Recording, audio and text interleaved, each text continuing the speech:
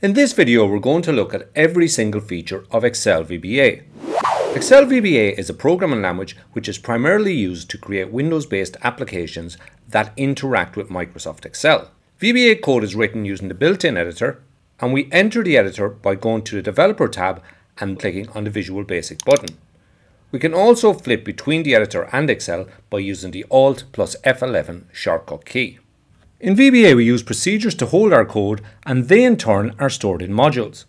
We have two types of procedures, subs and functions. The main difference is that functions can return a value whereas subs cannot. To run a procedure from the editor, we click in the sub and select Run Run Sub from the menu. The shortcut key is F5. To place a value in a cell, we assign the value to a range like this. This will write the value 99 to cell A1. If we don't specify the worksheet before range, then it refers to whichever worksheet is currently active. It is equivalent to this code. Most of the time using the active worksheet isn't a good idea, so we specify the worksheet instead. We can use this workbook worksheets and the name of the worksheet, or we can use the code name of the worksheet instead. The code name is the name on the left in the project window. We can copy values between cells like this. In this case, we are copying the value from C1 to A1. We can copy between cells on different worksheets in the same way. We simply need to specify the worksheets and cells we wish to use. We can also copy multiple cells using this method, but make sure that both ranges are the same size or you will get either errors or missing data. Cells is an alternative to the range property. It takes the number of the row and the number of the column as arguments and returns a range of one cell. Cells is useful when we want to use a number rather than the letter for the column. We can also combine cells with the range function to give us a range of cells. When we are referring to objects multiple times, we can use the with statement to simplify our code. And then we can remove the object from this section of the code and VBA will still understand what we mean. We must end the with section with an end with statement. We use the dim statement in VBA to declare variables. These are examples of basic variables which hold one value only. We assign a value to these variables like this. We also use variables for Excel objects. When assigning any object variable, we must always use the set keyword. When dealing with basic types, we can actually use the let keyword. However, the let keyword is optional, so no one really uses it. In more advanced terms, the let statement copies the value and the set statement copies the address of the variables. With non-Excel objects like the collection or like class modules, we need to create the actual object that we're going to use. We use the new keyword to do this. Using them like this will always create exactly one object. If we wish to create multiple objects, then we would use new in the set statement. This gives us flexibility and we can put the set statement in a loop to generate multiple objects. There is a special variable type called a variant. A variant allows VBA to decide the data type at runtime. However, it can hide errors and slow down performance, so it's best to avoid using variants unless absolutely necessary. Now, a good example of using a variable when it is necessary is when copying a range into an array. When we don't declare a variable, then it is automatically a variant. As this is poor practice, we should make declaring variables mandatory by placing option explicit at the top of our modules. And we can set this to happen automatically by going to Tools Options and placing a check in the Require Variable Declaration checkbox. In VBA, an if statement follows this structure. The if and then keywords surround the condition you're evaluating. If the condition is true, the code within the block will execute.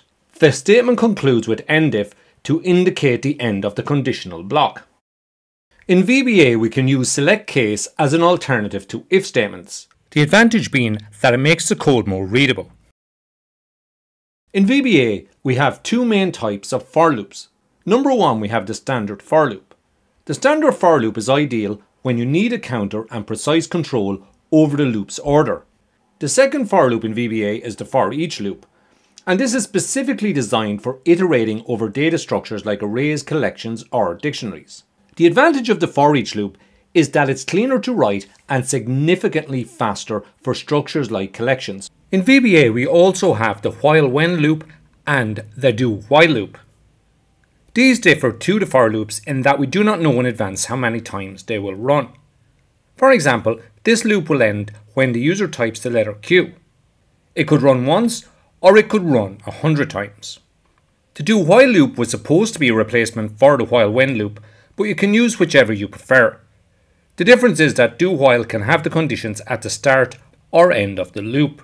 We can also use until instead of while and this inverts the condition. We can declare an array in VBA like this. However, as this makes the array inflexible, it is better to use the ReDim statement to set the size. The advantage is that ReDim can take a variable, meaning we can set the size dynamically. We can read through an array using the standard for loop. We use the built-in L-bound and U-bound functions to give us the first and last positions of the array. We can also use the for each loop with the array. Arrays do not come with many built-in functions, so for most standard tasks we need to write our own.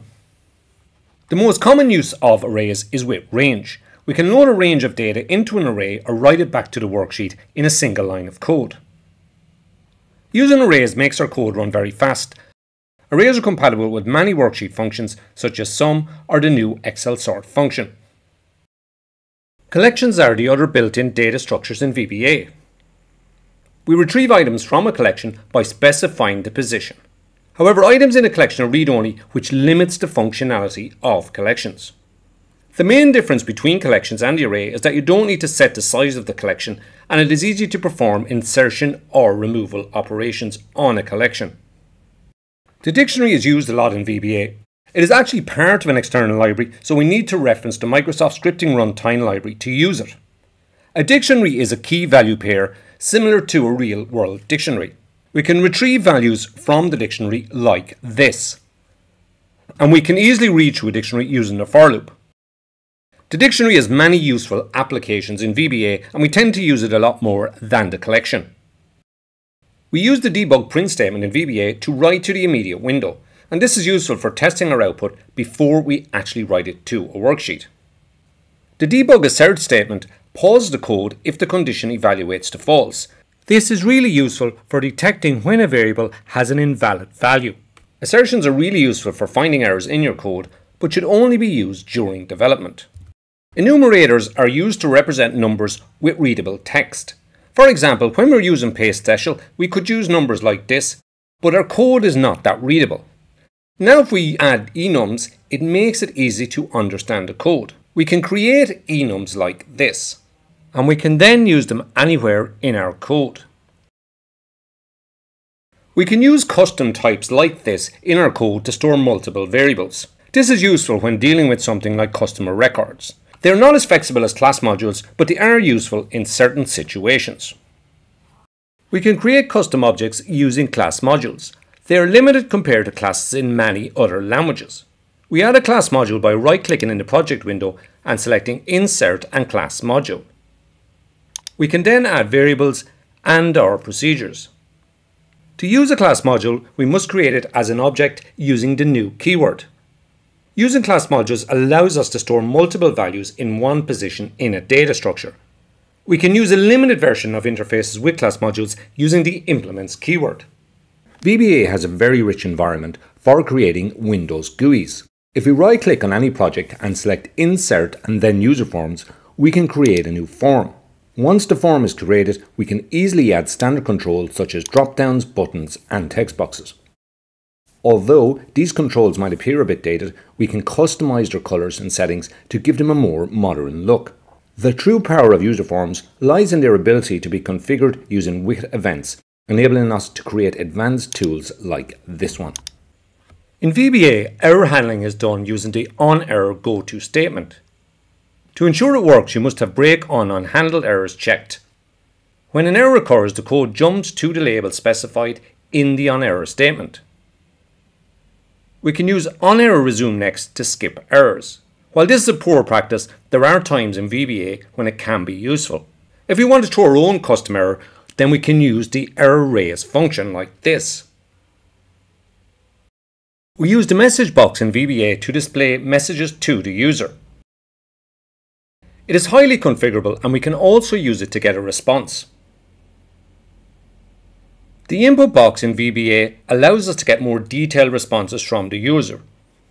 For example here, we can retrieve a string.